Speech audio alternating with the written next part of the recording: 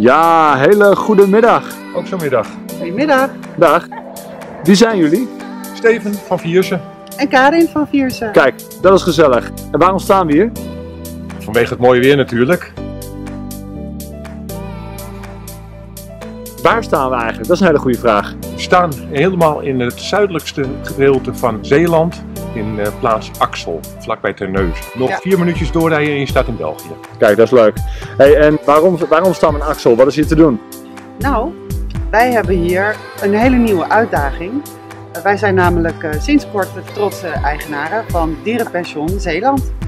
Hey, en hoe zijn jullie hier terechtgekomen? Ja, we woonden hiervoor in het plaatsje Alteveer. En dat ligt helemaal aan de andere kant van het land. Dat ligt in Zuidoost-Groningen. We zijn op zoek gegaan naar een mooie plek waar we met honden aan de gang konden. En we zijn hier aangekomen en hebben dit pension gekocht. Cool, jullie hebben een dierenpension gekocht. Helemaal. Wat voor dieren vangen jullie allemaal op? We vangen honden en katten op. Kijk, hartstikke leuk voor alle markten thuis. Ja, we hebben het net even over gehad wie jullie zijn, wat jullie hier doen. Nou ben ik nog wel nieuwsgierig. Waarom zijn jullie deze uitdaging eigenlijk aangegaan? We zijn al sinds jaar en dag met honden bezig. We zijn gek op honden, gek op dieren.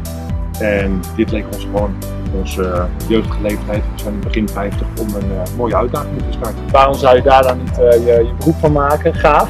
Hey, nou ben ik heel nieuwsgierig. Nou goed, ik heb vandaag even meegelopen, dus we hebben een beetje gezien wat het allemaal inhoudt. Maar dat komt er gewoon bij kijken. Hoe ziet een dag bij eh Dierenpension Zeeland in Axel, hoe ziet dat eruit? Begint de dag uiteraard met ontvangst van eventueel nieuwe mensen met nieuwe honden uiteraard. Die eh, ga je indelen op de plekken waar ze komen te logeren. Vervolgens gaan de honden lekker naar buiten, die gaan de speelvelden op. Uiteraard moeten ze morgens wat opgeruimd worden. En eh, de honden die eh, krijgen hun eten en drinken en alles weer bijgevuld.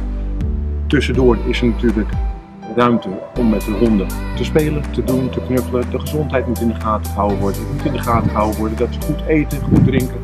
Kortom, we zijn de hele dag lekker bezig. Hoeveel honden kunnen jullie hier opvangen? Volgens mij zijn het er meer dan 100. Dat moet lukken, ja. Ja, oké. En, en jullie kunnen ook nog heel wat katten opvangen, toch? Katten kunnen we er minimaal 40 kwijt. 40 katten en, en Ja. 100 honden als ik het zo hoor. Misschien Als wel helemaal vol zitten. Dan ben je wel aan het rennen inderdaad. Dan Kom langs.